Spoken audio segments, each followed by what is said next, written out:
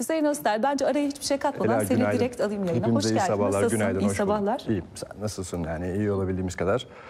Yeni bir haftaya başladık. Dünya Evet. dönüyor.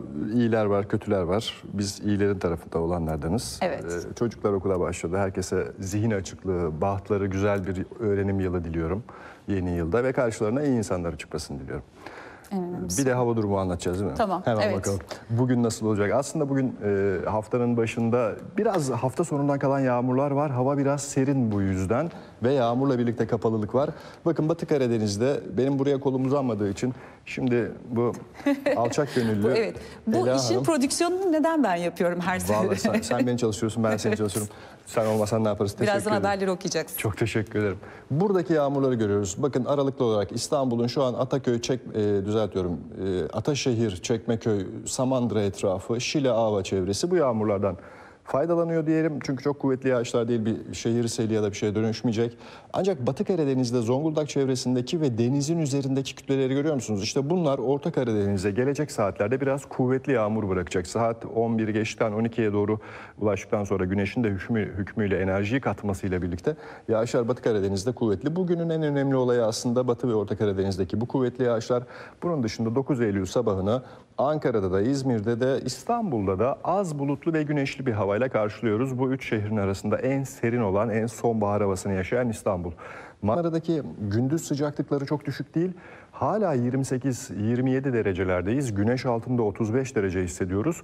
Ancak gölgede ve sabah mesela şu saatlerde dışarıya çıkarken 22-23 derece hissediyoruz. İşte o aradaki fark bir kıyafet farkına dönüştü.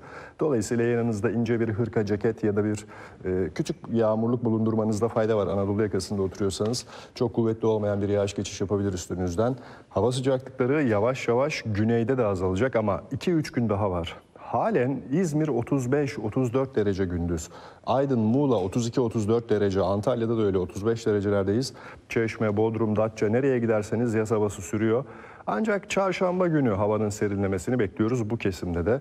Bu çarşamba gününe dikkat. Özellikle hafta ortasına denk gelen İzmir'in, Manisa'nın, Aydın'ın kuvvetli yağışları olabilir gök gürültülü şimşekli. Ayrıca deniz üzerinde hortum, işte yıldırımlı şimşekli havalar alıştığımız aslında sonbahar havaları geliyor. Bu sefer İzmir ve çevresine de yağmur bırakmasını ümit ediyoruz bu çarşamba günü.